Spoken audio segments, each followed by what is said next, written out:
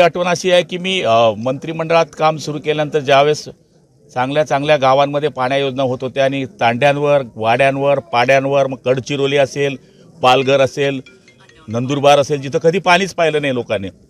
छोट्या छोट्या वाड्यांमध्ये जेव्हा आम्ही पाण्याचे कामं सुरू केले त्या लोकांनी जो रिस्पॉन्स दिला तो एक आनंदाचा दिवस आहे. आणि ज्यावेळेस शिवसेनेमध्ये हा प्रकार घडला आणि उद्धव साहेबांनी आमचं ऐकून घेतलं नाही आणि आम्हाला नाईलाजाने आमचा पक्ष टिकवण्याकरता नवीन मार्ग पत्करावा लागला तो माझ्या जीवनातला सगळ्यात दुःखाचा क्षण आहे.